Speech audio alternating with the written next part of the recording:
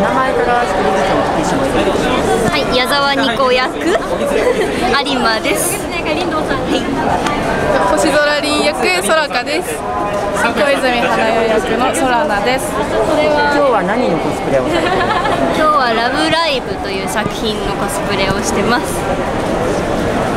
他には普段はどういうコスプレをされたりとか？他はまだそうですね。か他のもやりたいねっていう話はしてるんですけど、はいなかなか他のに手出してないですどういうね。のに挑戦したいとかってありますか？ちょっとダンスをしてみたいな。ダンスを。どこのコスプレ始めて今何年ぐらい？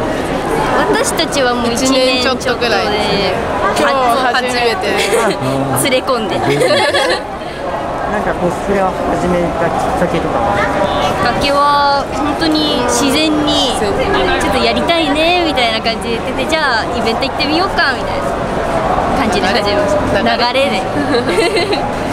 コスプレには月にいくらぐらいお金かかる好きではなくけど、新しいのやるってなったらうん、1万円1万ちょいちょっとは。かかるぐらい。かな今何着ぐらいコスプレのお衣装は持ってますか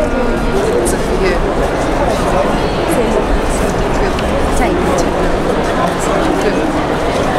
れすごいチャイあチャイエプロンキャンディかなー56 56着ぐらい6着ぐらい。ですそうですじゃあ最後に今後どういうコスプレイヤーになりたいか目指したいか伺いますか、ねえー、目標？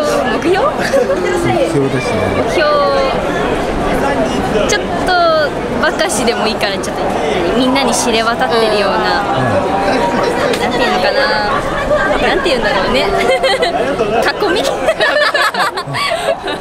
というわけじゃないけどまあちょっとでも知れ渡った感じ。で自分たちのスキルアップというか。っていうのかな。写真写りのレパートリーもちょっと尽きちゃうことがあるんで、多くしていったり。あと何かこちらの動画を見てる方にメッセージとかあれば。